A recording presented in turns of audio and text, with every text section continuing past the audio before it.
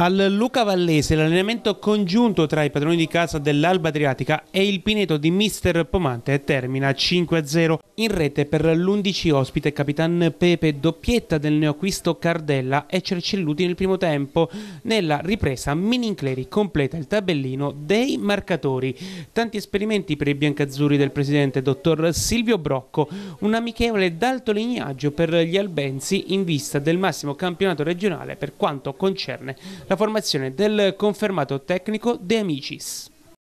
Diciamo in questo momento stiamo lavorando parecchio, i carichi di lavoro diciamo, si fanno sentire, quindi diciamo, queste partite iniziali sono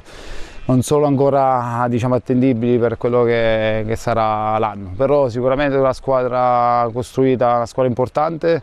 eh, sono arrivati giocatori che l'anno scorso comunque hanno fatto bene, eh, è rimasto un bel gruppo che l'anno scorso ha vinto la finale, quindi diciamo una buona squadra. Riccardo della Quercia, sì, quello è uno schema beh, che stiamo provando quest'anno, è andata bene, anche se Riccardo voleva fare gol, ha sbagliato, poi sono arrivato io per fortuna, però è stato bravo, dai Riccardo. Beh, noi siamo, siamo un pochettino indietro, praticamente sono andati via